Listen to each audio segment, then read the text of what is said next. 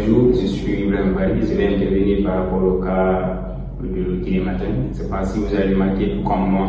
le site a été restreint tout récemment et c'est quelque chose qui est vraiment déplorable qu'on a tous à déplorer parce qu'on fait tous un, un site d'information qui nous, qui nous permet ici de nous informer sur l'actualité de notre pays. Et de mon côté, je ne sais pas si c'est une œuvre de l'État ou si c'est des personnes mal intentionnées, mais si toutefois c'est une œuvre de l'État, nous demandons à ce qu'il nous qu'il qu la situation, n'est-ce pas, pour permettre, n'est-ce pas, la population d'être toujours informée sur ce qui se passe dans notre pays, sur la chaîne internationale.